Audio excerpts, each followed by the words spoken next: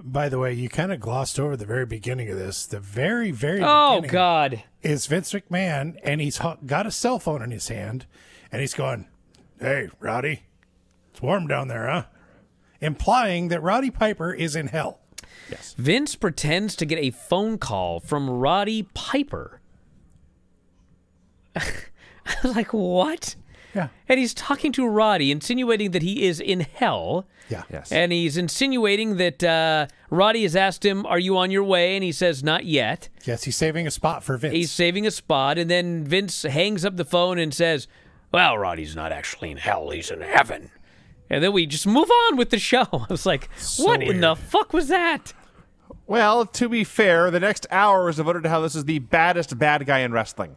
I mean, the story that's- does end with Hulk Hogan claiming that Roddy Piper called him from beyond the grave. That so I guess happened. it did go full circle. Yeah, but true. that was bizarre.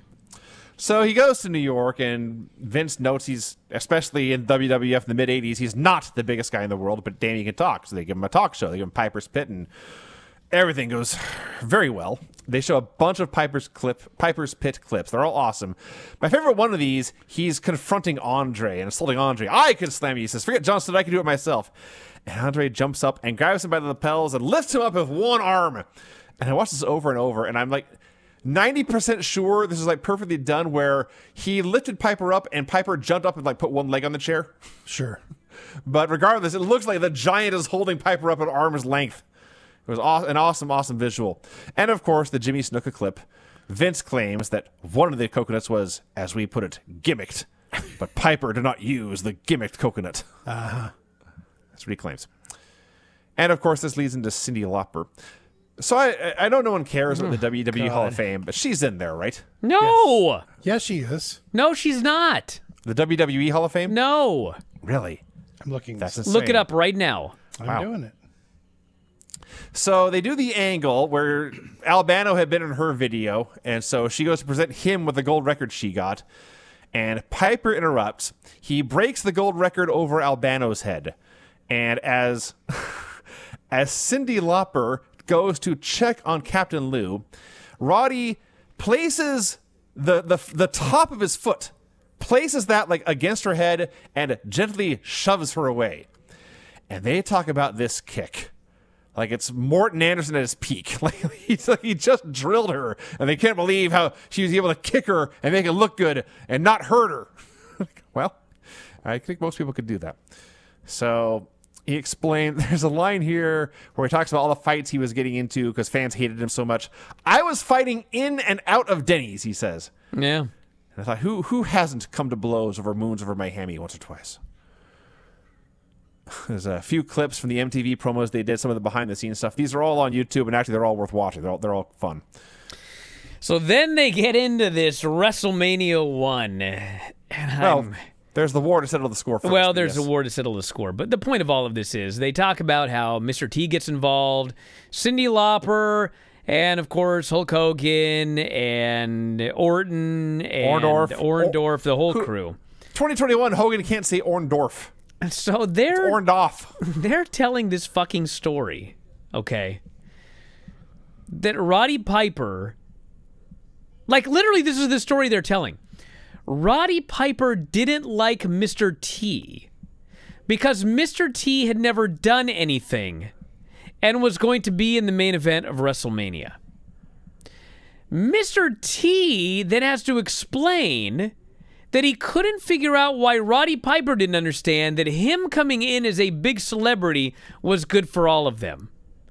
And I'm thinking, you want me to believe that Mr. T understood how pro wrestling worked, but Roddy Piper didn't? What? So they say that, oh, you know, Roddy, Mr. T is afraid that Roddy and, uh, and actually to a degree he was afraid that they might do something to him, but of course they did not because it's, you know, a work.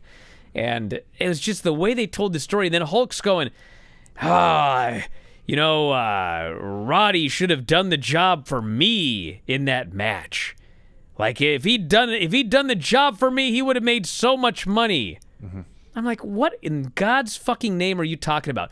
Who in their right mind would have had Roddy Piper do a job in that match? Which, by the way, Roddy Piper was never going to do the job in that match. And number two, why would Roddy doing the job in that match have led to him making more money?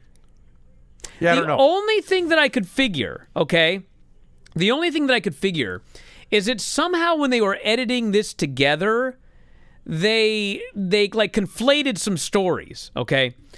Maybe what Hogan was saying was that because Roddy would never do a job for me ever, at least in WWF, he did when they were in WCW. Maybe Hogan was saying because he would never do a job for me, we therefore could never have headlined a WrestleMania. Like WrestleMania 2, for example. It was Hulk Hogan versus Bundy. Like, imagine if it were Hulk Hogan versus Roddy Piper in a singles match.